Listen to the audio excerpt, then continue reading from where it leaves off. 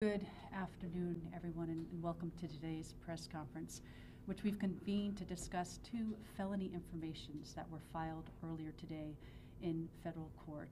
Um, As Elliot Enoki said, I'm Clare Connors. I'm the United States Attorney for the District of Hawaii. I am joined today uh, by Special Agent in Charge Steve Merrill of our FBI Honolulu office, as well as Assistant U.S. Attorneys Ken Sorenson and Micah Smith. The two felony informations that were filed today, they charge schemes to defraud the citizens of the state of Hawaii of honest services by elected officials. One of the information charges, one of the informations charges former state senator Kalani English with engaging in a scheme to defraud the citizens of the state of Hawaii by accepting financial gifts, bribes, in exchange for taking official action that would directly benefit the person providing him those financial gifts, cash disbursements. In the case of Mr. English's information, you can see from what is alleged therein that the relationship between an individual identified as person A and Mr. English at the time he was serving as state senator began at least by 2015. In addition, the information alleges that specifically in 2019, Mr. English received from person A uh, different financial gifts in the form of hotel rooms in Las Vegas, in the form of meals that were provided by person A. And then when the legislative session in 2020 kicked off, you can also see that in exchange for an agreement by Mr. English to support legislation that was requested by person A. Uh, Mr. English also accepted financial disbursements. In one case, person A asked that Mr. English introduce legislation involving cesspools.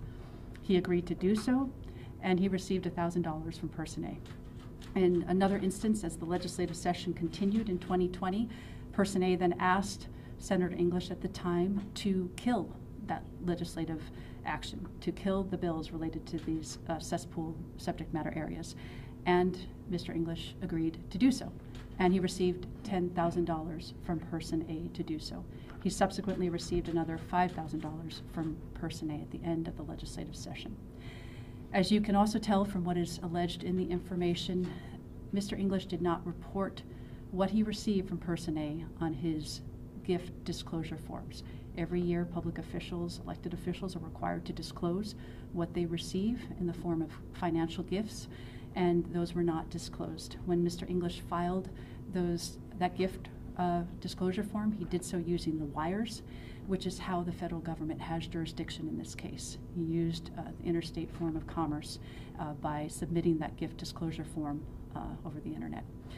And in failing to make that disclosure, he uh, did not advise the people of this state uh, what financial interests he had when he was making legislative decisions and when he was taking official action. In the second information, Representative Ty Cullen is charged with a similar scheme to defraud the citizens of the state of Hawaii of his honest services as an elected official.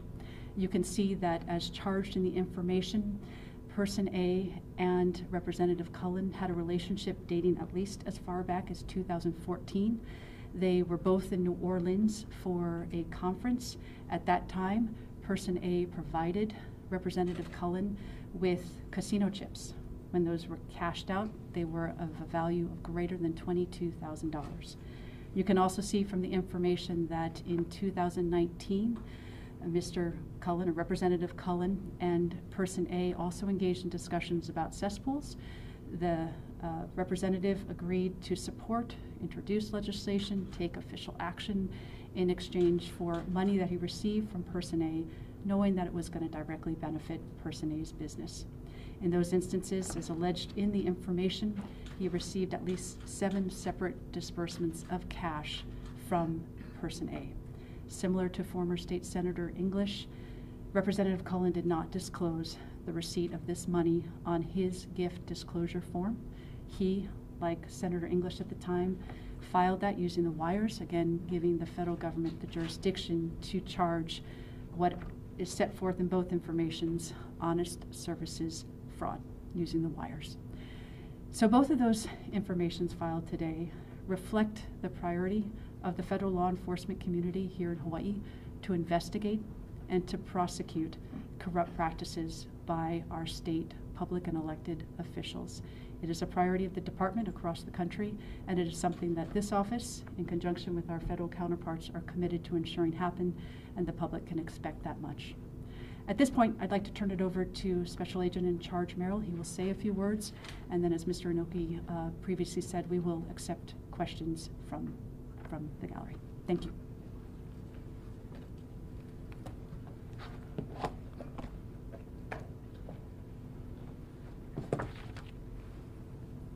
Thank you very much, U.S. Attorney Connors.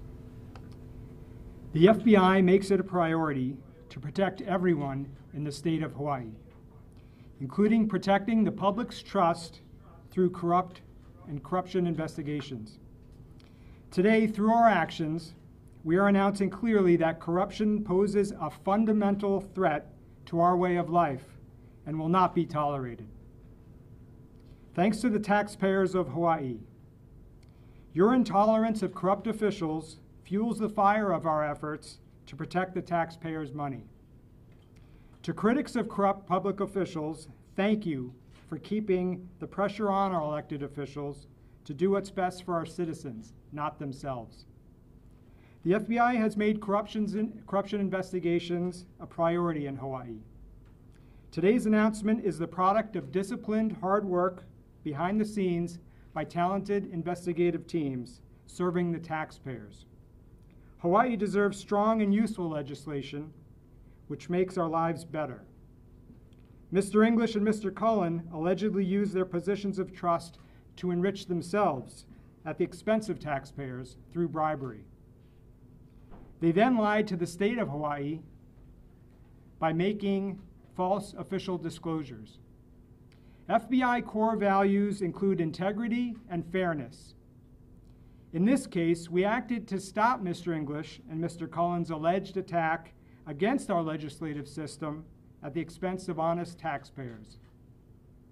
The FBI will not rest in our efforts to stop corruption throughout this state. We need the public's help. Our incredible team thanks you all in advance for information and tips related to corrupt activities. We are committed to immediately act on this information to see that justice is done.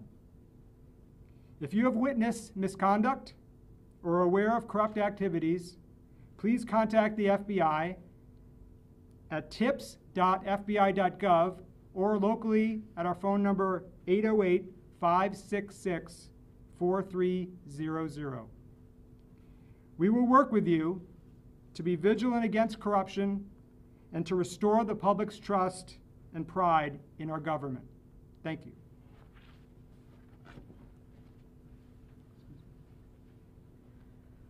All right, at this point, let's open it up for questions, and we'll, we'll take any from, uh, in the room first. Have Cullen or English been arrested yet? No, they have not been arrested. So these were felony informations. What will be forthcoming will be initial appearances or arraignments, and then they will enter a plea. Some of the allegations date back to 2014. How broad was this investigation into public corruption, and should we expect further actions? Right. What we're comfortable talking about is what is set forth in the information. It's a fairly lengthy set of informations. We, we did our best to put a lot of detail in there, and you can see that the earliest uh, information we have regarding the relationship between Person A and, in that case, Representative Cullen goes back to 2014. We are not going to comment on other aspects of ongoing investigations. It's not our policy to do so. But what these indictment, excuse me, what these informations reflect is that these are a priority of the office here and of the federal law enforcement community in, in this state, and it is something that we will investigate and we will prosecute when we come, uh, become aware of it. Did federal agents search either the homes of Mr. English or Mr. Cullen or their official offices in the state capitol or their campaign offices? Again, we won't comment on uh, any investigative techniques or what happened uh, in terms of the investigation, but comfortable saying that didn't happen in this case. I I think your first answer is the best. Yeah, okay, so we'll leave it at that. Is person A the same person A in both cases, or is it a different person A? We'll treat the in- information separately. You can see we released them, filed them at the same time so that we could engage in this conversation about the type of scheme to defraud that was set forth. Uh, But we'll uh, leave information concerning uh, Kalani English uh, and Person A as identified therein as distinct and separate from that involving Representative Cullen and the Person A identified therein. But they're accused of working both sides of the issue, one of them working on the House side of it, one working on the Senate side of it for the same individual. One of the common elements is the cesspool legislation. That is correct. We did um, put in some details there about the actual bill that uh, Mr. English, at the time State Senator English, introduced during the 2020 session and then described companion House bills. Yes. Based on the, uh, the charges, it appears that person A, in either case, are cooperating witnesses and may have recorded some of the conversations. Um, Can you, is that a fair assessment, one, and two is, um, I mean, is this more like a, instead of an investigation, but more like a sting? I mean, where they actually recorded what, uh, lawmakers did and, and actually observed the payments? Well, in this case, again, we won't talk about the kinds of investigative uh, techniques that were used, but you can see from what was put in the information, uh, detailed information about conversations that took place, and we stand by those as being accurate to the best of our knowledge. What was the reason for person A wanting them to kill the bill after going through all that? Right, well, we will stand by what's set forth in the information. The important part of the information, though, is that there was a request by Person A who had already provided financial gifts to both Senator English and Representative Cullen to kill that legislation. And in the case of Senator English at the time, he agreed to do so. And then he received $10,000 for it from Person A. Yes. Can you tell us what federal statutes are alleged to have been broken and what kind of sentencing guidelines and consequences are associated with them? Yes, so this charges honest services wire fraud. So it's a jurisdictional issue that brings us into federal court when a defendant utilizes the wires, a form of interstate commerce, to further a scheme to defraud. That gives the federal government jurisdiction, and there's a specific set of statutes that are charged here, one, one count for each. In terms of sentencing and, and potential uh, penalties, I'll let uh, AUSA Sorenson talk about those. Well, I think it would be safest at this point to not discuss possible sentencing uh, guideline calculations. They can vary greatly, as everybody's aware, in our system. So at this juncture, I think it's safe to stick with the statutes, the statutory violations that we have of record, and not speculate on what the sentence may or may may not be based on uh, what the sentencing guidelines provide. What number is the statute? Just, Uh, Well, Title, Title 18 United States Code, Section 1343 is wire fraud. Uh, Section 1346 is uh, the, the provision that makes honest services fraud uh, chargeable. Were Mr. English and Mr. Cullen asked to help cooperate in cases against other lawmakers or lobbyists or business owners who donate to elected officials? in Yeah, Hawaii? thank you, Peter. Obviously, we're not going to talk about what they may or may not been, have been asked to do. Uh, uh, Whether they've cooperated or not is obviously not uh, something we're here to talk about today. Uh, Just to go back to uh, your question concerning uh, possible uh, penalties, what those statutes at AUSA Sorenson set forth um, provide for in terms of the upper end of potential sentencing is 20 years. That's, that's the upper end of it, right? And Statutory maximum. Statutory maximum, right? And that's, that's also going to be set forth in, in a presser that we disclose. What happened to the bribe money? Was any of that seized by the uh, feds, or did they just keep it? It's not- The, Um, Again, uh, we probably don't want to get into that kind of information as to whether or not bribe money was collected or recovered uh, during the process of the investigation. Uh, We do feel confident in our ability to prove the fact that bribes were paid, though. Just to clarify, is, in, in English's case, is it thirteen thousand or eighteen thousand? When I add it up, it comes out differently, uh, based on the news release versus the, the actual charging copy. Right, so I'd go off of the information, and in the information, you have the uh, two hotel rooms, and I think we added up what that equated to. You have the uh, dinner that was paid for, you have the $500 that uh, was provided in cash so that Mr. English could take his family out to dinner. And then you have the discrete disbursements of $1,000 after Mr. English agreed to introduce the uh, cesspool legislation. Then you have the $10,000 after he agreed to kill that legislation, and then you have the $5,000 after that. And it's all set forth in the information. Is it accurate to classify the government's investigation as ongoing? What's accurate is to say that this is a set of priorities that we are going to continue to fulfill. We are going to continue to, as um, Special Agent in Charge Merrill said, investigate what we find to be potential corrupt practices, and when the time is appropriate and when the evidence is there, we will prosecute it. I know this case isn't a quid pro quo, but the contractor, the both of the persons A, what did they stand to gain had this legislation passed? I don't, it- you know, there, it's not a contract, but, you know, can you say in the magnitude of hundreds of thousands or millions?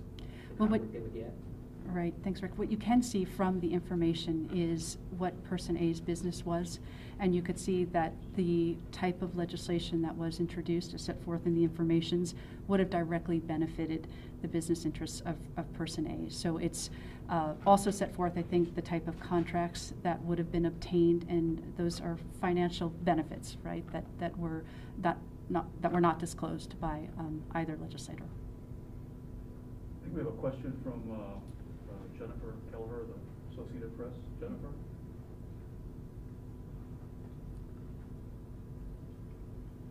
I don't think we can hear her. I'm wondering why this is a federal charge and why maybe prosec- uh, state prosecutors or the AG's office didn't handle this? The answer to that is this is a federal statute. There is no comparable statute in the state statutory framework. There is no honest services fraud that either the state or the uh, local law enforcement could charge. Um, as previously described, there is a federal nexus in the form of the wire transmissions when those gift forms were disclosed, uh, were filed, and it's a specific federal statute that we're using here. Uh, because the federal government is doing its job doesn't mean that the state or the local government is not doing It's its hard job. to hear you um, on the WebEx. Okay. Um, let's see. But you can do it. Where's the speaker? Oh, okay. Okay, I will, uh, thank you. Is this better, Jennifer? Is this better, Jennifer? No? Is she Mute.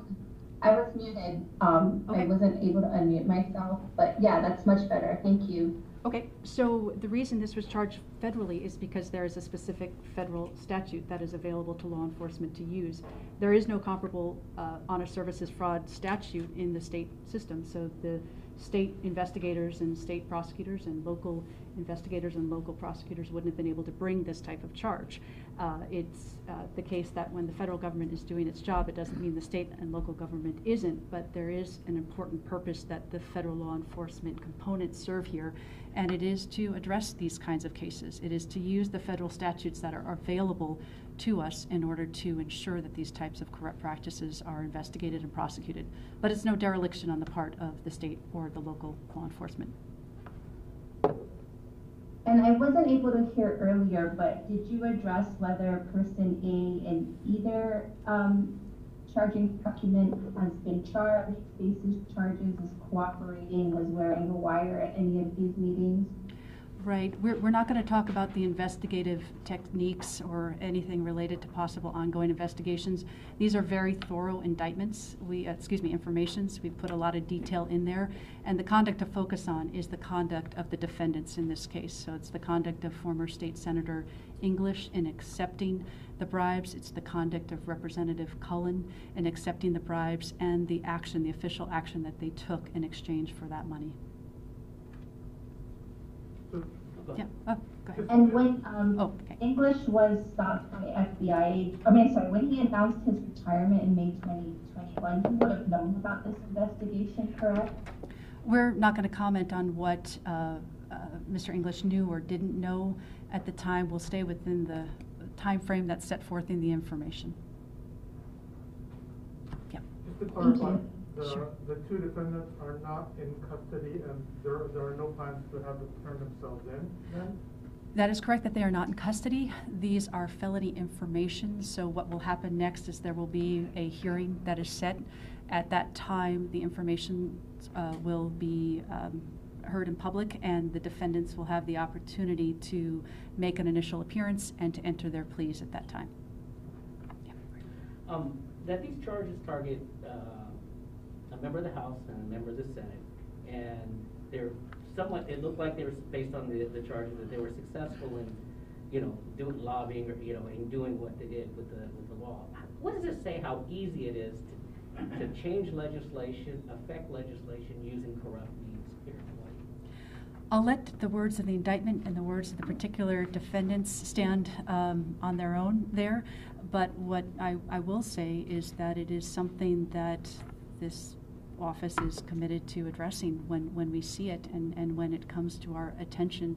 It is important that our legislators, that our public officials engage in their services to the public free of corrupt practices. You keep mentioning informations. Just generally speaking, what are informations and how do they differ or lead up to an indictment or charges? That's a great question. So, uh, felony information is a, a, a, way that we can charge certain alleged criminal conduct.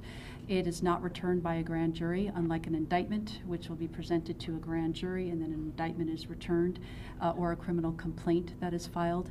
In the case of an information, what it generally suggests is that the allegations contained therein are not contested by the defendants so that when we do proceed to the point of an initial appearance, that uh, when they enter their plea, they will already be aware of the charging document and, and the nature of the allegations.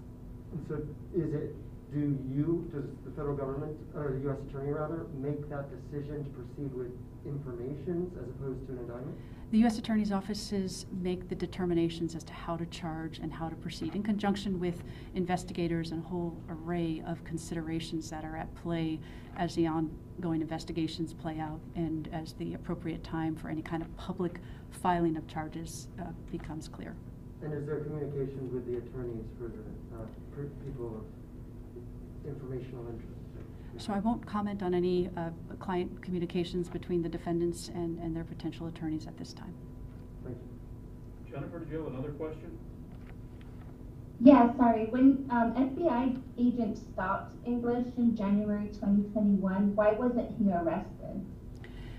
There are, as I said, a number of considerations that go into when and how individuals are brought into the criminal justice system and when and how things are made public. So I won't comment on what happened outside of what's set forth in the information where that particular instance was described in detail, the money that was exchanged was described in, in detail. Thanks. Okay, thank you very much. Good? Okay, thank you very much.